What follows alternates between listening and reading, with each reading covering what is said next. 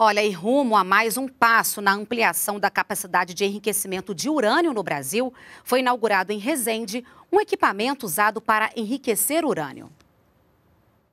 A inauguração aconteceu na fábrica de combustível nuclear que fica em Resende, no sul do estado do Rio, a única de enriquecimento de urânio do país, e marca mais um passo do Brasil rumo à autossuficiência na produção de combustível nuclear.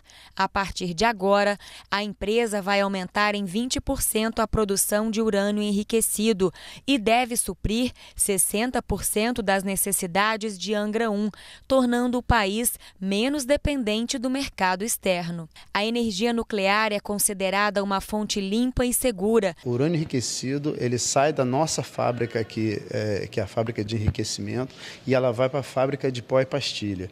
Lá ele é transformado em pastilhas de urânio e que são montados na outra unidade, na unidade 1, e, e, viram elementos combustíveis. Esses elementos combustíveis é que alimentam as usinas de Angra 1 e 2. Por se tratar de um assunto de segurança nacional, as imagens não são permitidas no interior das instalações onde ficam as cascatas. Apenas 12 países desenvolvem essa tecnologia e o Brasil é um deles. Para se ter uma ideia da eficiência energética do urânio, quatro pastilhas de apenas um centímetro cada podem gerar energia para uma residência com quatro moradores durante um mês. Além do simbolismo e da celebração de mais um feito nacional, torna a data oportuna para anunciarmos que o Ministério de Minas e Energia destinará, nas próximas semanas, 20 milhões de reais para que possamos caminhar a passos largos